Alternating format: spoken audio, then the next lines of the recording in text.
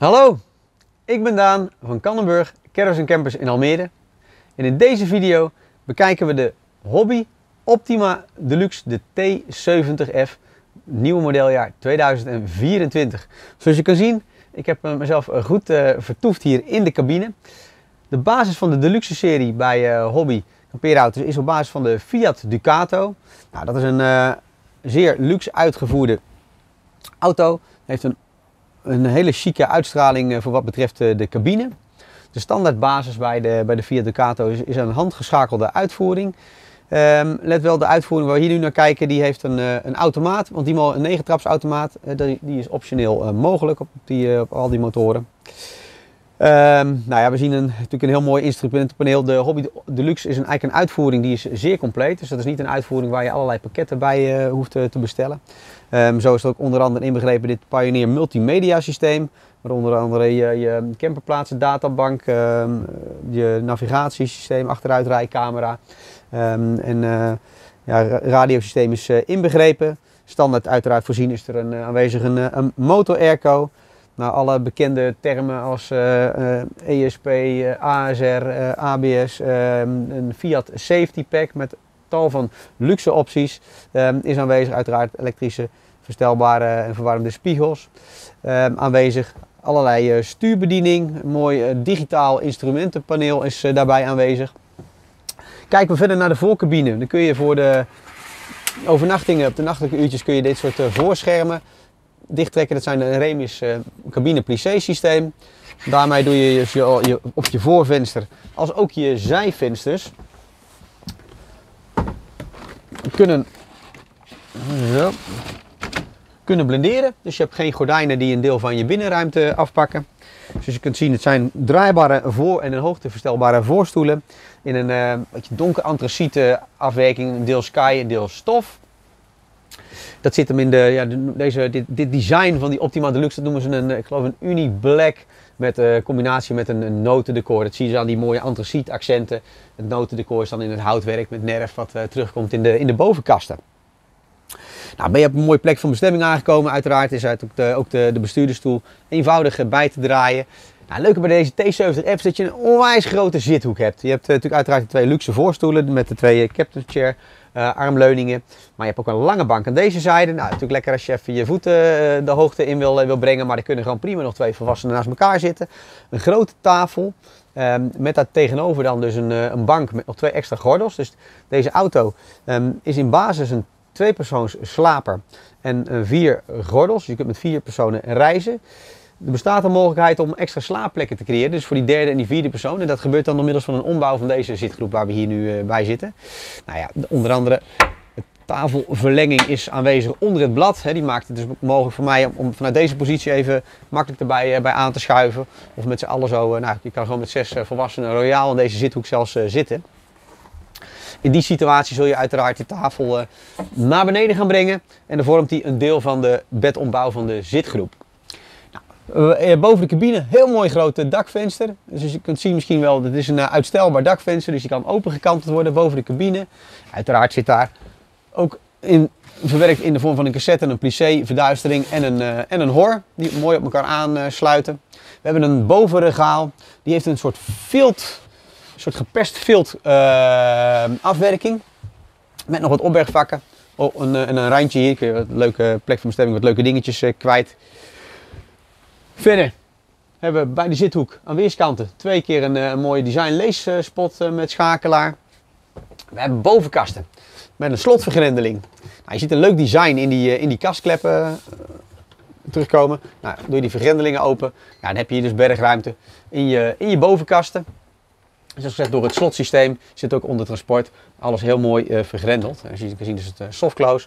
Plek van bestemming hoef je die uh, slotjes niet te gebruiken onder het rijden. Dus even in de vergrendeling drukken is wel zo verstandig. Nou, zoals we kunnen zien, we hebben ook bij de aansluiting van de cabine nog een, een, verlengde vloer, waardoor ik wat makkelijker met mijn voeten ook bij de bodem kan kopen. Hè. Want dan zie je hier de, de, het, het Fiat chassis. Hier hebben we dan de aansluiting naar de cabine. In deze verhoging, daar zit ook de verwarming doorheen getrokken. En nou, het verwarmingssysteem dat komt door middel van de ingebouwde Truma Combi 6, een uh, soort principe van een uh, CV-ketel. Dat houdt in het apparaat wat zich hier onder deze bankklep bevindt, Deze grote zwarte unit, dat is je verwarming en je warmwatervoorziening. Er gaat 10 liter warm water in. Hij werkt op, op gas. Hele goede verwarmingscapaciteit.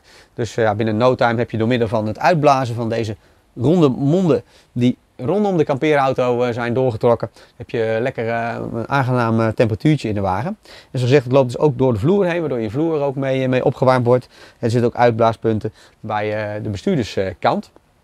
Apparaat is standaard voorzien van een fors beveiliging, wat ervoor zorgt dat als, ja, als je zou zijn vergeten af te tappen, dat bij ongeveer een graad of 4 zal die automatisch zijn, zijn water weggooien.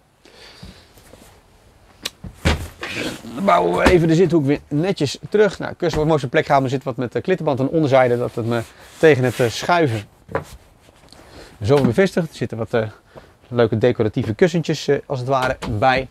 Dan hebben we een grote uh, indirecte plafondverlichting hier zitten. bovenkasten ook aan de andere kant van de zitgroep. Nou, het leuke in het design is dat die, die kastgroep die loopt zo door richting de keuken. In het leefgedeelte nog eens een keer een groot dakluik van 50 bij 70 centimeter met een draaislingerbediening. Dus je kunt door middel van het draaien van de hendel je koepel in verschillende standen openzetten. Ook hiervoor geldt uiteraard natuurlijk hoor en verduistering zijn daarbij aanwezig. Nou, de vloer zelf is afgewerkt met een mooi linoleum, met een houtmotief. En dan, als we dan bij de entree kijken, dan zien we standaard uitrusting een hele brede toegangsdeur, maar die is mooi afgewerkt met een, een hor. We zien ook dat er een, eh, een beugel is die de, het in- en uitstappen uit de kampeerauto eventjes eh, wat uh, makkelijker maakt. Kijken we boven de deur zien we een instrumentenpaneel. Nou, aan de linkerkant hier het vierkante LCD-scherm. Die heeft de betrekking tot de Truma Combi, dus het, dus het CP Plus paneel. Dit is eigenlijk de aansturing van het verwarmingsapparaat wat zich dan onder de bank bevindt. Het paneeltje wat hier in het midden zit is het centrale bedieningspaneel van Hobby, de Hobby Connect. Hiermee kun je eigenlijk al je lichtstanden in- en uitschakelen. Kun je je accuspanning uitlezen, kun je je watertank uh, in uitlezen, zoals verwarming van je vuilwatertank. Terwijl je um, uh, kraanpompen mee in- en uitschakelen mooie van dit systeem is, het heeft een Bluetooth functie. Dus download de Hobby Connect app op je telefoon. Koppel hem eenmalig. Je hebt een heel mooi digitaal overzicht van alle functionaliteiten. Eigenlijk nog wel meer als wat het paneel in basis zo kan, natuurlijk, eh, kan uh, laten zien. Daarnaast bevindt zich hier direct bij de entree nog een tweetal uh, kapstokhaakjes. is natuurlijk makkelijk als je even een jackie of wat dan ook wil weghangen bij binnenkomst. En er zit wat uh, contactvoorbereiding hier, 230 stopcontact, een 12 volt stopcontact en, en, een kabelvoorbereiding. Mocht je het idee hebben om hier eventueel een tv te willen hangen op een beugel, zodat je vanuit je zithoek daar een mooi, mooi zicht op hebt. Dat kan natuurlijk een zwenkbare arm zijn. Tijd om de keuken te gaan bestuderen. Dus we gaan even van kleine rotatie maken. En daar sta ik zo vanuit mijn zithoek, happakee, in mijn keuken om even een lekker, uh, lekker happy te maken. Borrelplankje of de kokkerellen. Nou, dat kan super goed hier, want het is echt een leuke keuken. Het is een hoekkeuken met een bar elementje hier zo. Heeft een mooi, uh, mooi rekje met een regaaltje. Kun je wat uh, kruiden, dingen, andere leuke zaken in, in kwijt. Heeft een glas ehm, afwerking langs de randen, dus mooi makkelijk schoon te halen, heel praktisch. Heeft een beetje een ja, donkergrijs steenmotief op, de, op het werkblad. Driepits gaskooktoestel. Uiteraard natuurlijk met een elektronische ontsteking. Je hebt een keukenraampje waardoor je ook wat extra ventilatie kunt creëren. Dat kan zichzelf natuurlijk in diverse standen openkantelen. Uiteraard gelden voor al dit soort ramen dat die voorzien zijn van blindering en een horregaas. Er zijn bovenkasten aanwezig. Er is een mooie indirecte verlichting langs de bovenkasten langs. En qua opbergruimte hebben hier een hele grote deur met een uh, aantal planken daarachter voor en, en de hoofdgaskranen. Hierboven bevindt zich dan de ronde wasbak met de fraaie mengkraan. En een drietal lades. En die lades die laten zichzelf heel ver uittrekken. Dus je kan goed uh, bij de inhoud. Als je kunt zien, er zitten soort speciale design druksluitingen op. Dus die kun je natuurlijk op de plek van bestemming eventueel gewoon open laten staan. En onder het rijden op deze wijze borg je de laders tegen het open vliegen. Nou, keuken is natuurlijk niks zonder een goede koelkast. Nou, die is er zeker. Deze 133 liter grote Dometic torenkoelkast heeft bovenin een heel groot vriesvak. Welke uitneembaar is, dus is uh, al, zijn al je ijsjes op. Trek hem eruit en dan kun je er meer uh, andere zaken in kwijt. Natuurlijk uiteraard een aantal eh, legroosters. Wat de vakken van wat eh, flesjes in kwijt te kunnen. En aan de onderzijde dan een soort met van, eh, ja, soort noemen een groente, fruit, verslade aanwezig. Koelkast kent een automatische bronkeuzefunctie. Hij, het is een absorptiewerking, wat inhoudt dat hij kan functioneren op gas. Hij kan functioneren op eh, 12 volt als u onderweg bent rijdend. En hij kan fu- functioneren op de 230 volt, de stroom of eh, campingstroom of walstroom aansluiten. Nou, dan kun je hem automatisch laten selecteren wat op dat moment de best beschikbare bronkeuze is. Leuke van deze koelkast is dat hij, hij kan van twee kanten bediend worden. Dus je kan zelfs vanuit je bed even een lekker eh, flesje champagne opentrekken om te vieren dat je toch even genieten bent van die eh, vakantie. Boven de koelkast is een extra grote opbergkast eh, aanwezig. En aan de onderkant is ook nog weer uiteraard gebruik gemaakt van wat, eh, ja, wat kleinere, een, een wat dieper vak. Maar dat is perfect eh, misschien wel voor wat eh, sloffen, schoenen of dat soort zaken in, eh, in kwijt te kunnen. Functionele plek. Nou, leuke van deze T70F uitvoering vind ik de, de, de, de, ja, de, wijze waarop die ingedeeld is. Je hebt hem echt een mooi gesegmenteerde inrichting in je kampeerauto. Een ruime zithoek voor. Een, een, centraal, een leuke keukenopstelling. Die dan eigenlijk tussen het eh, wonen en het eh, slaapgedeelte in staat. Want hier achter mij, daar begint dus, zoals je kunt zien, de slaapkamer. De T70F is een Frans bed uitvoering.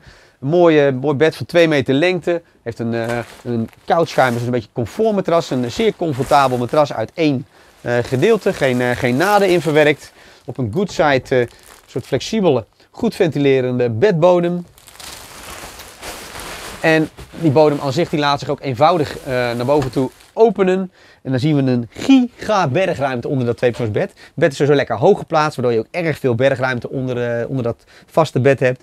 Met, eh, nou, je kunt echt die volledige lengte van dat bed eh, gebruiken voor het eh, opbergen van, eh, van spulletjes. Je hebt een, eh, een zijraampje en een dakraam om goed te kunnen ventileren en natuurlijk lichtval binnen te krijgen. Je hebt ook weer die leuke indirecte verlichting langs het plafond.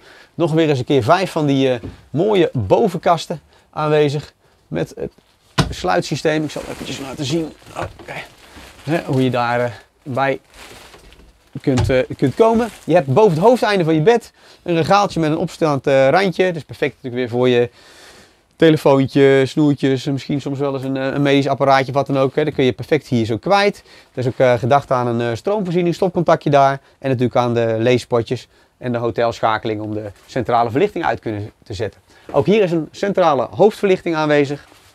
En dan bevindt zich hier bij het voetende hierboven een hele grote boven, echt een grote diepe bovenkast. En daarnaast zal ik even een beetje ruimte maken en een, echt een hele grote hangkast aanwezig met verlichting. Nou, daar zit dan de, de lek, lekschakelaar met eh, de aardlekautomaat in eh, verwerkt. En ook onderin is ruim voldoende opbergruimte. Nou, leuke, dit is echt een, een- ja, voelt ook echt zo'n volledige slaapkamer. Je kunt namelijk deze, dit slaapvertrek kun je even, als je dat prettig vindt, zo uit het zicht eh, afschermen door middel van het eh, aanwezige gordijntje. Ehm, je kunt je ook eh, nou, wat, wat, wat toiletgoederen, spulletjes kwijt. Want je hebt hier een leuk, eh, leuk dressoir. Met weer nog weer eens een keer weer twee van die bovenkasten. Nou, uiteraard, je kunt zien hier ook een raam, welke uiteraard open kan, horen en verduisteringen heeft. En nog weer eens een keer de nodige bergruimte in de vorm van twee eh, tal lage kasten met eh, ja, toch heel veel planken erin. Dus er is super veel bergruimte in deze slaapkamer aanwezig. Nou, dan nog een deur. Dat houdt niet op. Het is echt een, lekker ruim ingedeelde kampeerauto. Dan komen wij in een eh, ja, perfecte sanitaire voorziening. Heel mooie toiletruimte, doucheruimte. Wat in deze eh, eigenlijk ja, een- bijna gewoon een volledige badkamer te noemen. Eh, we hebben een, bij binnenkomst zien we dus meteen eerst als de toiletopstelling. Dat is een draaibaar toilet. Dus je kan met je benen kun je echt wel goed lang uit gaan liggen op je, op je wc. Op deze kant opdraaien, mocht je dat willen. Er zit opbergruimte achter. Er zit hier een, eh, een, een kastje voor wat opbergruimte. Zo. Dan hebben we hier boven een aantal spiegels. En eh, daaronder bevindt zich dus ook, weer- daarachter bevindt zich ook weer de nodige bergruimte. Open vakken met rekjes en afgesloten vakken met rekjes. Een dakluik voor ventilatie en lichtval. En dan ook hier deze kleppen bevinden zich dus allemaal bergruimte achter. Stopcontactje in afgewerkt. Ja, en eigenlijk nog meer spiegel, spiegeltjes, deurtjes is eh, aanwezig. Nou, het eh, zit in een soort verlaagd plafondje omheen afgewerkt. ook heel fraai gedaan met indirecte spotjes. Dus een super goed verlichte toiletruimte. Nou, een mooi, eh, mooi meubel over de, over de breedte van de kampeerauto. is daar aanwezig. Met een fraaie designkraan. Leuke ronde speelse spoelbak eh, geplaatst. En ook onder dat wasmeubel is er nog eens een keer extra opbergruimte. De vloer loopt heel mooi eh, gelijk door vanuit de slaapkamer. Ja, en dan helemaal achterin bevindt zich dan ook nog eens een keer een eh, super deluxe, mooi afgewerkte douchecabine. Waar ik echt onwijs, eh, onwijs de ruimte heb. Kijk hier op, het, op de stang. Een de, ja, design die goed op, goed op hoogte hangt. Een, een met indirecte verlichting daarin. Een zuil waar we wat shampooflessen en dergelijke kwijt kan met een mengkraam. En een mogelijkheid natuurlijk om het allemaal goed af te sluiten tegen de nattigheid. Nou, te laten zien, ook over de kleine handige dingetjes na is gedacht. Er is hier zelfs deze, dit systeem gemaakt wat je uit kan trekken met een, uh, ja, als je kunt zien, een, uh, een waslijntje. Om even je handdoeken of dingetjes te kunnen drogen. Voor de rest is hier ook een extra kapstokhaken in aangebracht. Nou ja, kijk maar eens even als ik mezelf op, uh, opzij schuif. Hoe giga veel bergruimte of bewegingsruimte er in deze douche aanwezig is. Ik denk dat het tijd is om dit mooie exemplaar ook eens van buiten te gaan kijken. En blijf hangen, zie je zo. Zo, en voilà. Nou, zoals je kunt zien, super uh, handig dubbel trace in- en uitstap aanwezig.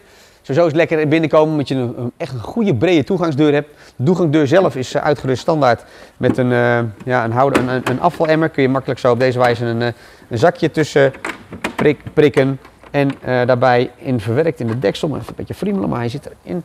Is, als het goed is, ja, ja, ja, ja. kijk, zelfs al gedacht in een heel praktische voorziening in de zin van even een stoffer en blikje. Dus die hoef je niet meer op je boodschappenlijstje te zetten. Goed, de deur zelf zal ik even sluiten. Maar...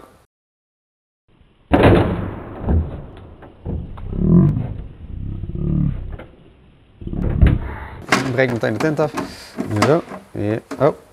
Nou, die, die, die, kan op de bloep, die kan op de bloepenlijst. Even kijken. Zo. En, ja, ja, hartstikke goed. Kijk, nu zit hij goed, nu zit hij goed vast. Zo. Kijk, de deur zelf heeft een uh, groot, uh, groot venster. Is ook wel prettig natuurlijk, dat je kan, uh, kan zien wie er bij je voor de deur staat. Ronde apparaatje wat je hier ziet, dat is de uitlaat van het combi verwarmingssysteem. Nou, verder zien we lekkere frisse uitstraling. Mooi wit-zwart accenten. Past natuurlijk perfect ook bij de uitstraling van de Fiat. Standaard grote 16 inch lichtmetalen vel, velgen op deze uitvoering. Een hele grote cassetteluifel aan de zijwand. Deze luifel is een um, 4 meter in zijn lengte, heeft een 2,5 meter uitval. Ja, en laat zich eenvoudig openen en sluiten door middel van een uh, slingerbediening. In dit geval hebben we de, luik, de, de, slinger in het luikje opgeborgen. Nou, dit uh, garageluik, deurtje blijft openstaan door middel van de twee eh, hulpveren. Je ziet ook verlichting meteen aanwezig bij de, bij de ingang. Dat is niet alles. Er zit dus ook achter dit luik, is wat lastig te zien, maar ik even vertellen. Er zit hier meteen ook een 32 volt stopcontactje en een 12 volt stopcontactje. Dat je meteen een, kan dat zeer praktisch wezen natuurlijk. Zo. Nou, voor wat betreft die cassetteluifel. heb je deze slinger. Die kun je wat in lengte uitschuiven. Zo, op deze wijze.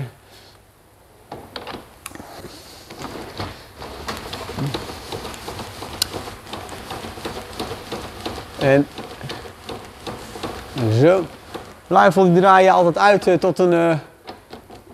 Uh, kan blijven hangen. Die draai je uit tot een hoogte dat je zelf goed bij de staanders kan, kan komen. Dus dat zal een beetje per individu uh, wat verschillen. Ik moet hem even hier aan de zijkant opzij trekken. Dat maar geeft me dan de mogelijkheid om zo'n poot uit te kunnen draaien. Zo. En op deze wijze een klein beetje licht naar voren zetten. En zo. De luifelclip borgen. Je draait hem niet helemaal uit zonder deze stap te doen. En dat is simpelweg het feit, je wil je luifel scharnierpunten eigenlijk niet te zwaar belasten. Als je de luifel 2,5 meter uitdraait zonder ondersteuning, dan kun je je voorstellen dat dat een uh, behoorlijke effect heeft op het uh, scharniergedeelte. De poot hier zo even opzij trekken, naar je toe halen. En naar de grond schuiven, een klein beetje schuin vooruit zetten. En dan ga vervolgens dus vanuit, zo. Even voorzichtig doen, yes, helemaal goed. Vanuit die positie ga je pas weer verder met het uitdraaien van je luifel.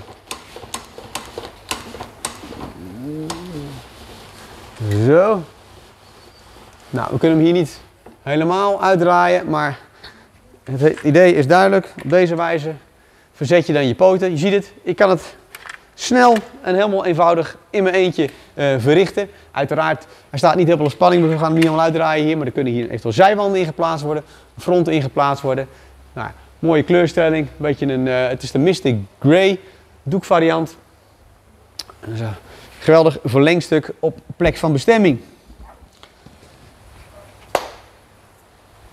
De basis, zoals eerder gezegd, is de vernieuwde Fiat Ducato. Nou, mooi stoer design met een zwarte, zwarte grill. De voorbumpers meegespoten, behoort allemaal standaard. Goede LED-verlichting rondom aanwezig. Gaan we naar de linkerzijde van deze kampeerauto. Dan even aandacht voor de raampartijen. Standaard bij deze afwerking zijn uh, cassetteramen. Die hebben het grote voordeel ten opzichte van uh, de op, uh, oplegramen dat ze echt wat vlakker in het voertuig vallen. Daardoor wat minder windgeruis. En natuurlijk komt heel goed het design te goede. Nou, je kunt zien hier is een centrale stroomaansluiting is bij deze uitvoering hier. Hier heb je je vuilwater Hier zo bevindt zich je verswatertankpunt. Dus 100 liter verswatertank die zich van hieruit laat vullen. En het luikje daarnaast is je gasvoorziening. Nou, daar zit een, uh, een mooi ladesysteem in verwerkt. Die kun je uittrekken zodat je eenvoudig je gasflessen daarin kan positioneren, vast kan snoeren, je gasregelaar kan aansluiten en het spul zo weer naar binnen toe schuift. Natuurlijk vele malen praktischer als het gehandeld achterin zo'n uh, zo'n ruimte. Een hele prettige voorziening. Nou, de materiaal een goede sandwichconstructie met een uh, isolatie. En de bodem van deze kampeerauto, de bodemafwijking en ook het dak is een uh, polyester beplating, wat hem dus veel beter bestand maakt tegen inslagen van onder of van bovenaf, hè, denk hagel of ander soort zaken. Achterin hebben we dan nog een, een luikje zitten en die is natuurlijk voor het Tedford cassette toilet. In deze bak komt alles terecht en nou ja, dan kun je eenvoudig uh, door middel van het omklappen van het hendeltje een trolley mee maken, waardoor je hem zo wegbrengt. En voor je de volgende reis klaar kan maken. Nou ja, wat een beter einde om te eindigen met het mooie kontje van deze kampeerauto. De Optima Deluxe. Daar zie je de achteruitrijcamera. Super strakke afwerking. Het zwart met die, ja, die fraaie LED design achterlichten scherpe lijnen in die achterbumper maken het echt een pracht van een kampeerauto um, om te zien rijden. Mogelijkheden bestaan natuurlijk uiteraard voor het uh, aanbrengen eventueel van een trekhaak, het plaatsen van een uh, fietsendrager op de achterband. Het kan ook eventueel met een lift functionaliteit zijn of eventueel het aanbrengen van een chassisdrager voor een, een scootertje of iets dergelijks. Ik hoop dat je van hebt genoten. Dit was de Optima Deluxe, de T70F. Ik wil je bedanken voor het kijken.